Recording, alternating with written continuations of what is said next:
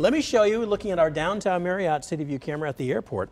Look at the current temperature, 85 degrees still. A south wind at 10 miles an hour, your heat index at 87, dew point at 65, so that's not quite the 70s we had earlier this week.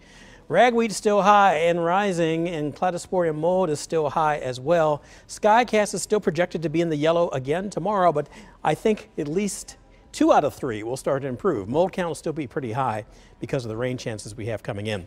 Temperatures in the 80s and the 90s. Marshall, 90 degrees right now, 85 in Kansas City, 92 degrees out toward Ottawa, 88 degrees in Butler. Look at clouds and radar along with me.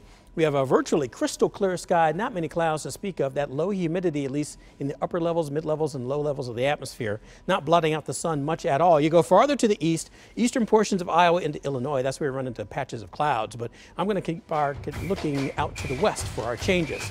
But for tonight, as Kelly and Laura mentioned, mostly sunny skies and dry for high school football. 83 degrees for kickoff. Halftime still rather humid, 78 your halftime temperature, and then mostly warm and dry by the postgame and about 76 degrees. Looking at our low temperatures across the area tonight, once again in those 60s, some in the middle 60s like Trenton and St. Joseph, upper 60s as you're heading toward Ottawa, and mid 60s down toward Butler at 65, Kansas City 69 degrees. Also the same thing for Roeland Park. Look at our hour by hour forecast tomorrow. 69 in the morning, haze, increasing clouds throughout the day. Still thinking the bulk of the day is going to be dry, but we're going to introduce about a 20% chance of some showers by 2. Thinking it'll be later than that. More likely after we go toward the evening hours.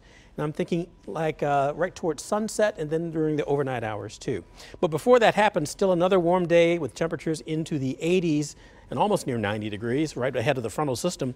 84 for a high temperature in Maryville just for comparison's sake and middle 80s just about everywhere else.